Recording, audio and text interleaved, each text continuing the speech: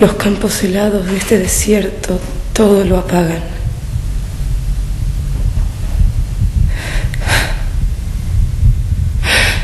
Pero basta solo con pensarte para que la noche más negra me parezca más clara.